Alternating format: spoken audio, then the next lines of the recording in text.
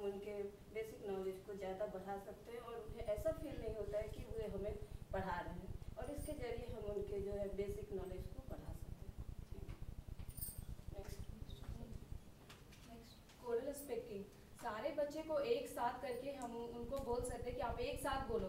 अगर किसी को झिझक भी होता है तो वो मिलकर बोल देते हैं। नहीं भी आएगा तो भी वो वर्ड बोल सकते हैं।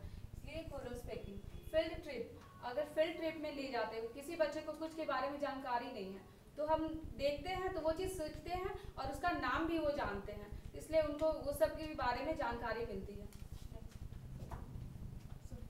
Form task and orientation group task oriented groups मतलब इस इस इस, इसमें क्या करते हैं हम लोग? क्लास में ही ग्रुप्स डिवाइड कर देते हैं उनको एक टास्क दे देते हैं कि भाई, ये टास्क आपका है, ये करो। इसलिए टीम इंस्पिरेशन भी आता है और उन टीम की भावना जगकर दोनों